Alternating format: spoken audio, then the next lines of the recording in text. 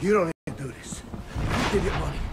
Drugs, guns, weapons, whatever you want. Please, I'll take a plane. Leave Gotham. Never show my face again. Anywhere you want. I'll go anywhere. How about you go to hell? Say out a joker for me.